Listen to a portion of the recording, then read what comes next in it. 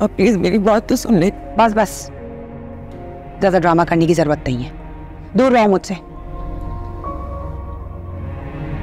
क्यों सलार का नंबर बंद आ रहा है? अगर सलार को कुछ हुआ ना तो मैं तुम्हारे साथ क्या हुआ शुक्र है सलार के तुम वक्त पर आ गए हो। इस लड़की को निकालो इस घर से। किस्सा खत्म करो इसका यहाँ से। बहुत हो गया।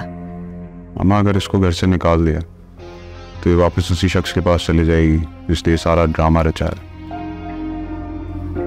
नहीं मैं मैं ऐसा क्यों कर आई एम सॉरी लेकिन मैं आपका ये हुक्म नहीं मान सकता। अगर इसको सजा देनी ही है तो बेहतर यही होगा कि इसको इस घर में रखा जाए इस बेवफाई की सजा इससे मिला। इज़ एवरीथिंग ओके किसका फ़ोन था? परवीन की कॉल थी। कह रही थी, इशरत आंटी ने आज घर पे बहुत हंगामा किया। वो तो सारा को निकालने ही वाली थी, लेकिन ये जो सारा की मेड प्लस देवरानी सुल्ताना है ना, उसने और सालार ने ये काम होने नहीं दिया। सालार को तो इस बात पे शदीद गुस्से का इजहार करना चाहिए था। उसने रोका क्यों? कहीं उसको मोहब्बत तो नहीं हो गई? मोहब्बत? तुम जानते क्या हो सालार के बारे में? हम्म? उसे किसी से मोहब्बत वहब्बत नहीं है। वो एक सख्त पत्थर है। तो उसने सारा को रोका क्यों फिर? जिद्दी है। जब जिद पे आ जाए तो किसी को सामने नहीं आने देता। लेकिन मुझे गुस्सा इस बात पे है कि जो कुछ हुआ उसके बाद उसे सारा पे चिल्लाना चाहिए था। उसने इतना गंदा सा फीका मनहूस सा रिएक्शन दिया।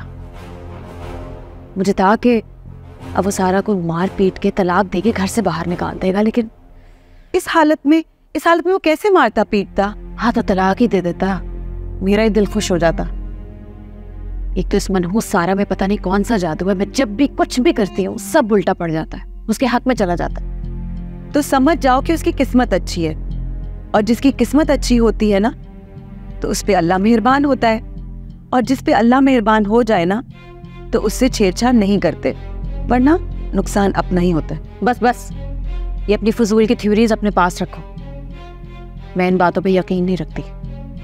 और वैसे भी ये उन लोगों की बातें हैं जो काहिल और नालायक लोग होते हैं, जिनको सब कुछ ऐसे ही अपनी प्लेट में चाहिए। ज़िंदगी का उसूल है। हमें वही मिलता है जिसके लिए हम कोशिश करते हैं। करम नेकी, यकीन, अच्छाई, ये सब बातें करने वाले बकवास, फजूल, निकम्मे लोग होते हैं। ये दुनिया है। यहाँ जो जितनी अक्लमंदी से काम लेगा, उतनी ही जल्दी अरबों लोगों में अपनी जगह बना लेगा।